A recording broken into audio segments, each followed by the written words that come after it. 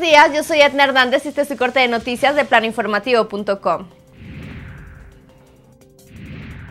El director de Ecología de la capital, Alberto Echavarría, habría presentado su renuncia esta tarde, de acuerdo a la información de funcionarios del Ayuntamiento de la capital.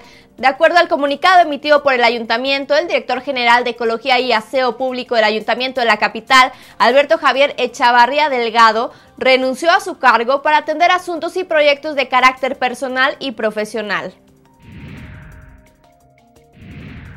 El alcalde capitalino Mario García Valdés consideró que es viable la reelección para los presidentes municipales hasta en un periodo, debido a que la ciudadanía tendrá en su poder el voto para premiar a los buenos alcaldes o castigar a quien consideren que no les respondieron. Sin embargo, puntualizó que él no será beneficiado de la reforma porque será a partir del 2015 en que los presidentes municipales que resulten electos puedan promover su reelección. Esto luego de que el Congreso del Estado aprobó la reelección de alcaldes hasta por un periodo de tres años y la de diputados locales en cuatro periodos de tres años.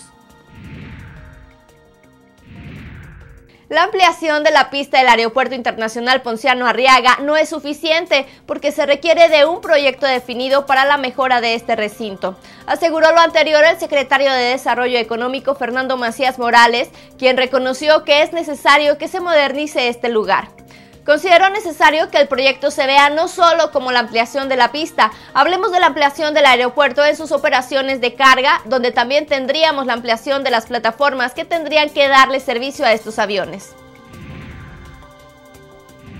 Esta y toda la información que surja desde este momento la puede consultar en nuestro portal de internet www.planoinformativo.com. Yo soy Edna Hernández, que tenga un excelente día.